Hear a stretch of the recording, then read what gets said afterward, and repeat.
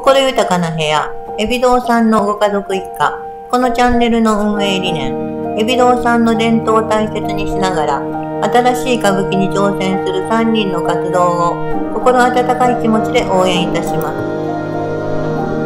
エビ堂、父の襲名披露の日、代々伝わる伝統ある刀を折る。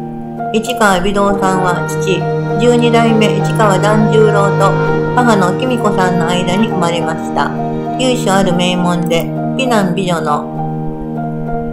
ご両親から生まれたということもあり、幼少期から歌舞伎役者として期待値も高かったとのこと。3歳の時に歌舞伎役者になるかい？と聞かれ、よくわからないまま、うんと答えた海老蔵さんは、その後、厳しい稽古をこなしも、6歳の時に、源氏物語にて、初、お目見えとなります。その襲名披露公演の時に事件が起きました。成田屋には代々伝わる刀があったそうです。それをお父様の襲名披露で使うということで準備してありました。指堂さんは出番前にお父様に刀を手渡す役目です。しかしなんとその伝統ある刀を折ってしまったので慌てて急遽別の刀を持って手渡したもののお父様が激怒しないはずもなく本番の睨みの前に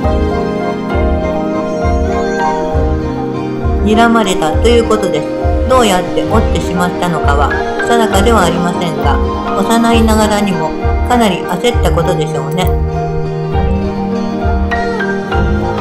8歳の男の子ですからやんちゃな時期リアルな刀を見てテンションが上がってしまったのでしょうか。1985年には7代目市川新之助を襲名しました。